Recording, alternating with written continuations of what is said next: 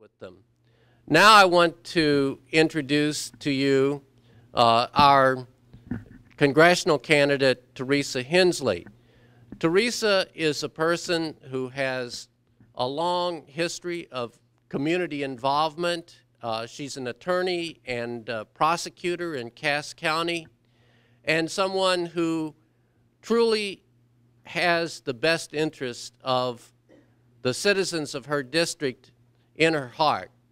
I've had an opportunity to talk with Teresa, and I know that she will be a really strong representative for the programs that actually make a difference in people's lives and give people an opportunity to be independent and productive and healthy.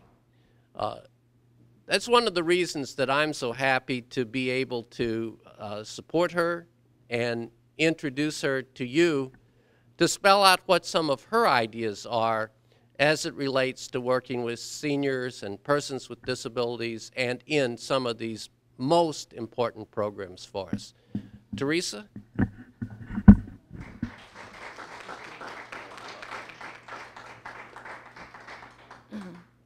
It's really good to be here with you today, and I, I can't thank you enough for coming out for this event. Um, you know, I am from Cass County. I'm from an area called Raymore, uh, where I grew up and where my parents still live. And when I considered running for Congress, one of the reasons that I considered running for Congress was because I have parents who are 76 years old. My dad has had five bypasses and 13 stents, and he has had a heart condition since 1982. I'm from a long family, a family of long history of um, heart problems. Um, I am actually one of 46 grandchildren. Uh, the oldest uh, cousin that I had, the female 55, uh, has already had a bypass surgery. Uh, and I had a female cousin at 50 die of a heart attack. So uh, heart conditions are something, and heart health is something that we take pretty serious in my family. My dad is 76 years old. If they gave him a voucher to go buy his own Medicare or to go buy his own insurance, I'm not sure that there would be an insurance company out there that would be happy to insure him. He'd have a hard time finding insurance. And so, why do I say that? Because one of the reasons I decided to run was when I watched this current Congress, this Congress who has failed really to get anything done except to vote for the Paul Ryan budget. And you know, when they vote for the Paul Ryan budget and they vote to voucherize Medicare, that's what we're talking about. When we're talking about giving a senior a voucher for them to go out and find their own health care, for them to go talk to private insurance companies to find their own insurance.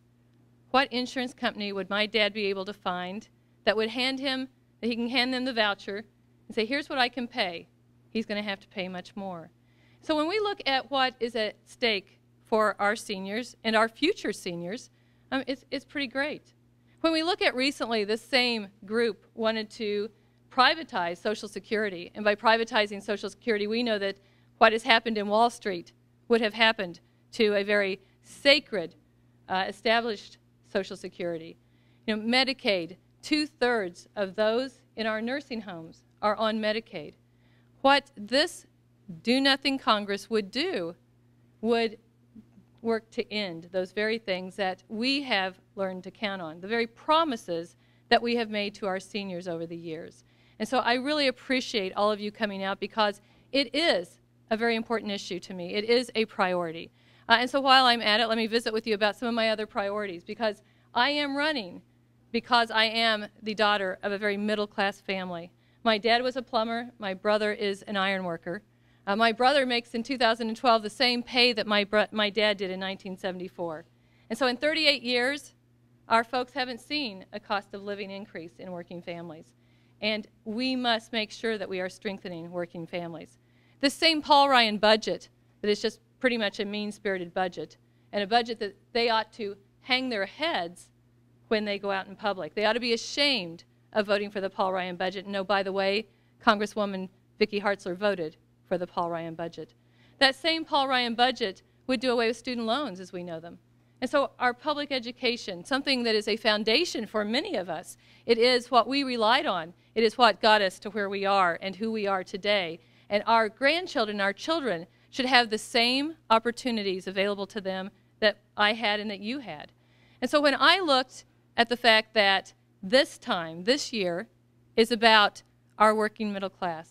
It is about making sure that we are strengthening and working on Medicare and Social Security and Medicaid, and that we are very serious and take as a priority our public education, and that everyone has the opportunity to get a student loan. You know, when they want to talk about an 18 year old, uh, the Paul Ryan budget would have 18 year olds go out and seek their own loan.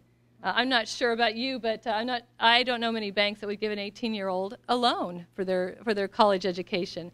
And so there is a lot at stake this year. There is a lot of issues that are very dear to each of us, to our family members. And so when I decided to run for Congress, I decided to run for Congress because of my family.